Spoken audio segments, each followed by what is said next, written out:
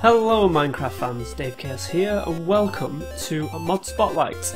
Um, this mod we're looking at today is called the Goblins mod and it's currently on 1.2.5, that's when I'm recording this video if you're watching it late.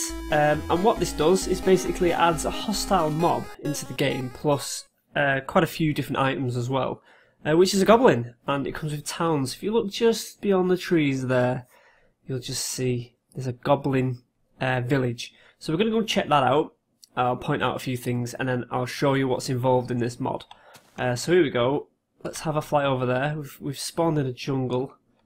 Um, I'm not going to get too close because we're going to use this uh, this village later for demonstration. So as you see straight away um, there's a goblin. And I do believe the guy with the sword right there is their king, or like the leader of the town. And um, you've got an archer goblin right there. We'll get a bit closer. Hopefully they won't attack. I don't think they do. You can hear them going hee hee hee. You've also got uh, the wolves. You can get wolf riders. There's one there now with a sword. There's a couple. Uh, we've got warriors there with a sword. There's also mages, which will shoot at me. Uh, don't want to get too close because I'm not too sure. Um, yeah, and they spawn all over the map, so you don't have just towns like this, uh, villages. They also spawn down in the caves. Uh, you get minor goblins in the caves, and again, like I say, they're hostile, so you've got to be careful. Right, so we'll come back to that in a moment. Uh, we've got a cave down here, so let's see if we can just spot one before we move on to the items. Let's just see if we can find one in the wild. So, down we go. Get ourselves um, some torches. As you can see, I've got too many items installed. Whoa, loud. Uh, for demonstration purposes, obviously you would normally play this in survival mode. There's one. There's one now. So there he is. There's two of them, in fact. Little goblin miners. So you can find them all over the map like this, not just in um, in the villages. And you get all different types. So let's get out of here and I will start showing you what's involved in this mod. Right then, we've got all the items out ready to go. I'll show you what's involved um, and I'll tell you how to get these items when we're going through it. So let's start off with this. I'll switch that off, I shouldn't need it. Is the Flame Blade, which is a craftable item made by Fiery Crystal. Uh, just the same sort of recipe as you expect for a normal sword. So let's grab the Flame Blade. Um, we're going to be taking out on villagers today, poor villagers. Spawn one of these in and whack him with the sword. And as you can see, he bursts into flames. So, there we go, a couple of shots and he's down. Uh, the Flame Blade, like I say, is made by Fiery Crystals. You obtain Fiery Crystals with this powder. Um, and it takes two of these explosive powders to make a fiery crystal. And as you can see, I've put all the different types of crystal powders in there as well. So to make an arcane crystal, you need two mystic powders, uh, lightning crystal, two lightning powders, nature crystal, two nature powders. Now, to get these powders, uh, it's from the village. So in the village is a totem in the middle of the town, which I'll show you after we've gone through the items, and you you uh, you convert those totems into these powders. So let's just carry on through the items, and I'll show you how to obtain the powders to make the crystals. So, oh, it's going dark, so let's make it day quickly. Here we are. Okay, next item is an arcane staff. So let's pick this up. And that's just one arcane crystal, two sticks. Now the arcane staff, let's uh, spawn in another unsuspecting villager. Uh, you can throw like arcane power at them. So a couple, it takes a few shots. There we go, we took four shots to kill him, so there we go, that's uh, like a castable mage type weapon. Um, then we've got the Sceptre of Life, which is, well I'll show you. Uh, you need two nature crystals, two sticks, and hopefully this will work. If we just hit the floor, no. Uh, let me just, whoops. Let's just clear some snow away and hit the floor. There we go. It causes grass to grow. Um, if you're in the desert, you can make cactuses grow. Um, it has 50 uses, so it's basically like a bone meal staff with 50 uses. So that's a Sceptre of Life, which is another craftable. Uh, that was in there. So next one is a teleportation staff. Now to create one of these, you need to have an arcane staff, and an H crystal. And as you would expect, it teleports you. But it's not that handy because it teleports you in a random place. So, where are we? There we go. So as you can see, it can be good in a battle to just get away quickly. Um, but unfortunately you can't teleport to where you want to go. Right, next item is the lightning staff. Uh, lightning crystal, two sticks, and as you can imagine, it calls down lightning. So let's get another testificate. Now, I'm led to believe if you shoot at the testificate, it just damages him, but if you shoot near him, it brings lightning down.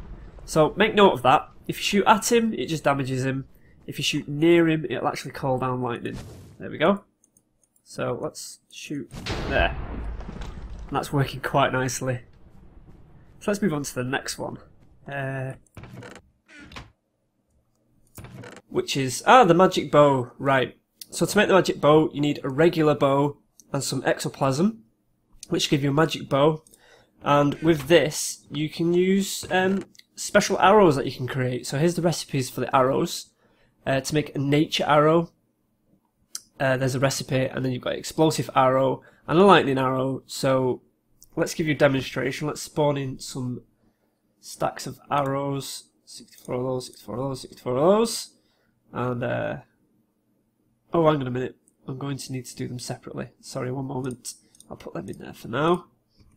So let's check out the nature arrow. Get our testificate again. And, uh, got him!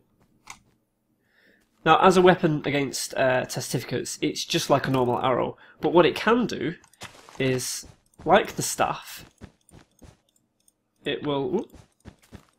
Let's shoot into the floor. Bam! It'll grow a tree! Woo!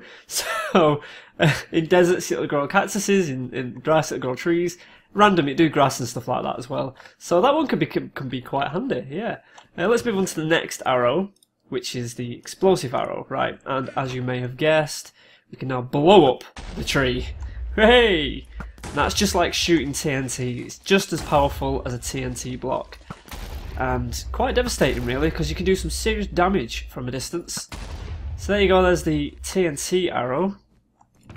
And the other arrow, as you would expect, where's our testificate gone? Is he done a runner, or did we kill him? I don't know. Right, uh, it's similar to the lightning staff, but if you actually hit the testificate with the arrow, he gets struck by lightning. Whereas with the staff, it's slightly different. It shoots an orb out. That's, that we got him. So there we go. I'm really like in the arrows. I think they're a very nice addition. Very nice indeed. Okay, let's move on to the other items. So you've also got um, bombs. So let's grab a couple of these bombs. They're very simple. You need smooth stone and gunpowder, and simply let's let's uh, again. I feel sorry for these testificates now. Let's just chuck a grenade at him. Oh, well, we missed. We missed. There we go. Have it. There, there. So they're quite good. You can just chuck them. They blow up after a couple of seconds. Uh, next is a, sh a shirt. Uh, oh, I can never pronounce this. A shuriken, I believe. Very simple recipe. You just need cobblestone and that's a throwable item. So you just right click and it launches it like an arrow. And uh, yeah, very very simple item. You can have hundreds of those because cobblestone's quite quite you know everywhere. Another item that's available is the katana, but uh, on the forum there's no crafting recipes for this, so I can only assume it's a drop. Um, I can't really cover that one very well. And the next thing is a little bit of a fun item. You wouldn't really use this too much, but it's enchanted TNT. So what you need is normal TNT and explosive powder. Now, let's get ourselves uh, a redstone torch. Let's get two, actually. Because there's actually another piece of TNT I want to show you. So let's spawn ourselves a testificate. Hello. And this is going to be a hell of an explosion. He got away! Woo! He didn't quite get away. So, as you can see, it's a little bit more devastating than normal uh, TNT. So yeah, that's quite powerful. Let's put that back in there. But there's, a, there's an even more powerful one than that. So you get your enchanted. So once you've done this, normal TNT, get enchanted TNT and put mystic powder on it, and you get an arcane, arcane TNT. So let's move away away for this one. even though this is the last uh, item for me to demonstrate for you, before we go and check out the goblins. So let's put that down there. Oh god, fly away! I don't know why I'm worried, I'm in creative mode. But there you go, jeez. One rather large hole. Awesome. Whoops, there goes my bow. It's okay, I don't really need that. So there we are, those are the items that it adds into the game. There is a couple more. Um, you can also spawn villages if you don't if you if you're on like flatland or something like that, but it's not really necessary. Um, there is no crafting recipe for that because it's intended for uh, creative mode. So what we're going to do is we're going to go over to this village and we're going to have a proper explore around here and we're going to introduce all the different goblins that I can find. I'm going to do this in creative mode because I do believe they won't attack me. But don't quote me on that. Right then, let's go and check out this village. I've just brought up the wiki, not the wiki, but the forum page, just so I make sure I get the names correct for you. So here we go. Um, these are the totems that I was talking about. So these is what you need uh, to create the powder with. You, hello, that's the leader. um, we're actually in peaceful mode at the moment. I'll have to change that in a minute. Uh, but it's probably a good thing while we just check this out. So you want to farm these totems. These are the different types and uh, you just put them into a crafting bench and it'll turn it into powder. So, let's just have a quick or nosy around the village. These things here are actually spawner plates. So what these do is actually spawn the goblins for you. Um, there is items to be had, but nothing. You won't find anything amazingly special uh, inside these. Maybe a bit of powder, not too bad. Golden ingots could come in handy. Let's have a quick nosy. Here's the like a dog pen. And let's have a quick look over there. This is like the leader's room. Well, uh, sorry, this is the mage's um, the mage's house. We'll we'll meet him in a moment. So, right. Let's uh, oh, let's have a quick look down here. We have like uh, like a little mine thing going on. Yeah, so they're quite well made. These little villages, I, I quite like them. Uh, anything in here? See, yeah, nothing too special, but they're worth looting. They are worth looting. So let's get ourselves back over it and switch peaceful mode off and we'll, we'll meet some goblins. So, uh, put it back on normal. Here we go. Don't know if I'm going to get attacked or not while I'm in creative. Hopefully not. So they're spawning already. Here we go. So this is, um, that's the leader. You can tell because he's got the scar on his eye. Uh, these are the warriors. Um, What's this one now? I think that's just a normal miner with the sword. We've got a ranger there. Uh, we also have riders. Where's rider? There's riders. Quite noisy on the on the wolves. You'll notice the wolves are slightly different than normal. They don't have like a tail. They have like a flat tail. Let's see if we can see that. Can you see that? Yeah, it's a different model than normal wolf. Here's a bomber. With the bombs in the back. And where's is the king? I don't see. I don't see a mage anywhere. There's the leader. No, he doesn't seem to have spawned. But there is a mage, and the mage will shoot at you. So there's a miner. A miner's popped up. I'm not seeing the mage anywhere at all, which is a shame. I wanted to show the mage off. Right then. Let's see how long I can survive against these guys. Probably not long. Let's do this. Oh my god, the bomb's after me already. Ah!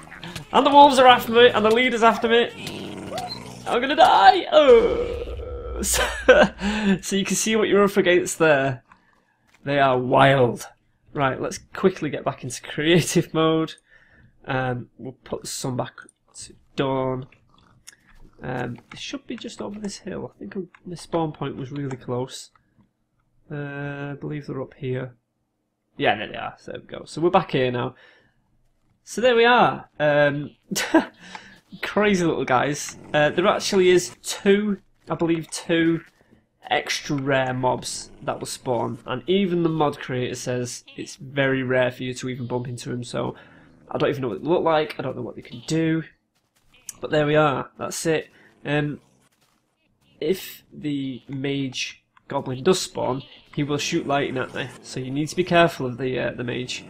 So here we are, that's the goblin mod. I hope you enjoyed that little spotlight. I know I like this one. This is another one of my favourites. It's definitely... I see, look, they drop the items. They drop the items you can craft. See that? So there we are. Um, don't forget to like and favourite, and uh, catch you all on the next time. Have a good weekend.